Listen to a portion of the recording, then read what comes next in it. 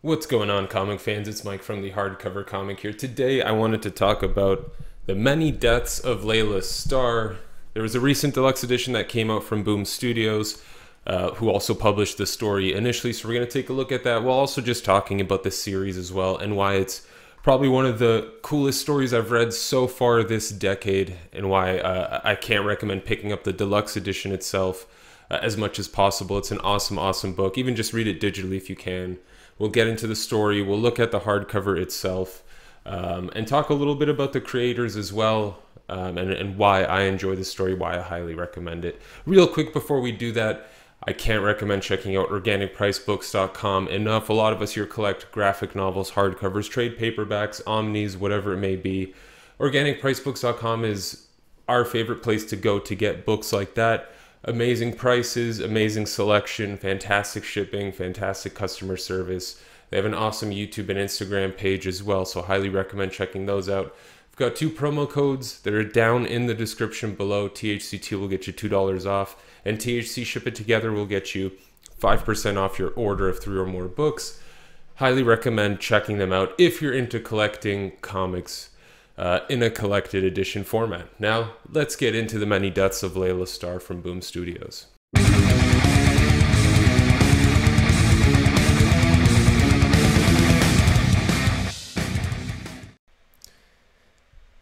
It was a very happy day at the THC studios, both, uh, well, definitely the, in the Canadian one uh, and probably the US one when the Many Deaths of Laila Starr Deluxe Edition was announced you know, not a series I ever expected to get a deluxe edition just because it's a, a mini series and I haven't seen too many deluxe editions for mini series from Boom Studios, but very, very happy that they did release one.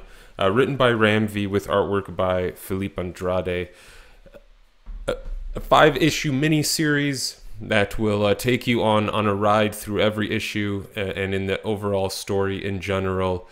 Ram V, in my opinion, has quickly become a, a, very important writer to watch. In my opinion, I think he's he's written some of the coolest and, and most entertaining comics uh, in the past.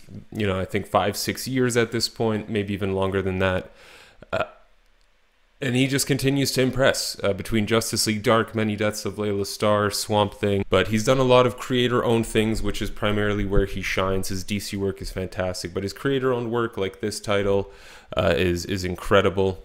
Um, so I picked up this deluxe edition, having read this series, uh, having really enjoyed it, being able to see it in print this time, seeing the physical paper on these oversized format. I really, really liked it. The art style may not be for everybody. I know there are some people out there that aren't big fans of it.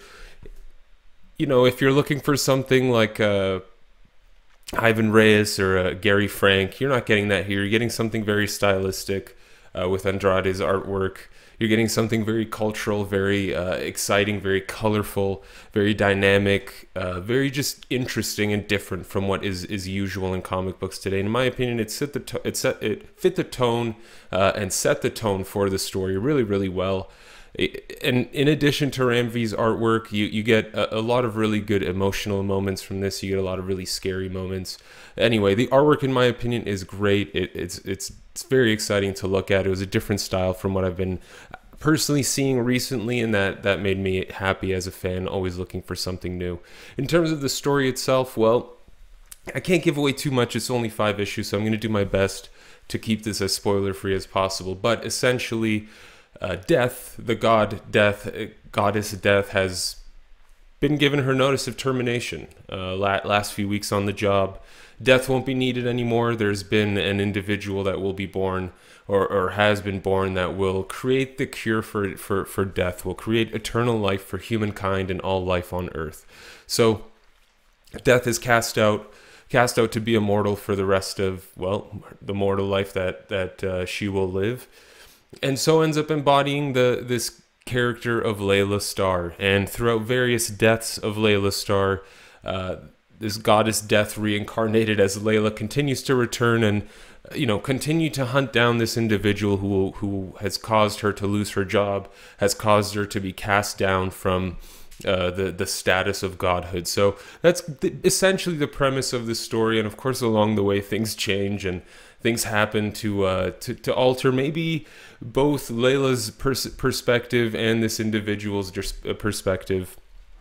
Um, that will you know that that will shape the future of of humankind. It's a very very fascinating story told in in snapshots of of life for these two characters uh, and, and, other characters around them. Of course, this isn't just about two characters in total. It's about the world around them, the many people in the life of a human being, and and the world in general, um, and and you know what life is for for people and, and humanity and and you know how it's perceived by people of various different lifestyles and walks of life a very interesting uh, examination of that. Basically, you know, um, it's a, a, sensitive topic for for many people.